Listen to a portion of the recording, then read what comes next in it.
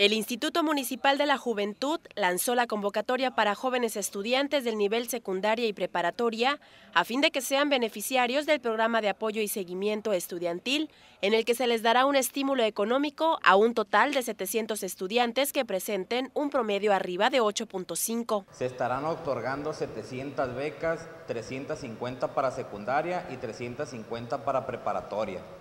Esta beca consta, de un monto de 300 pesos para secundaria y 400 pesos para, para preparatoria.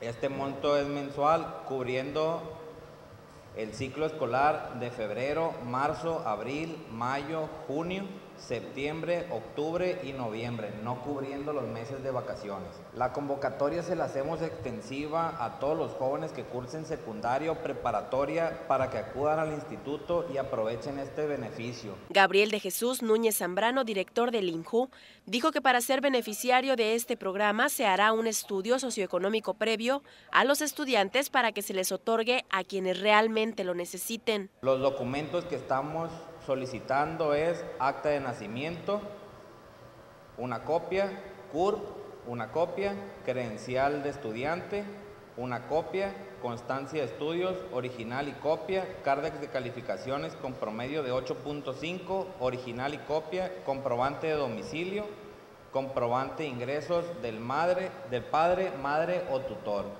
Esto para saber a la hora de, realizar el estudio socioeconómico si se está realizando, si se está diciendo la verdad.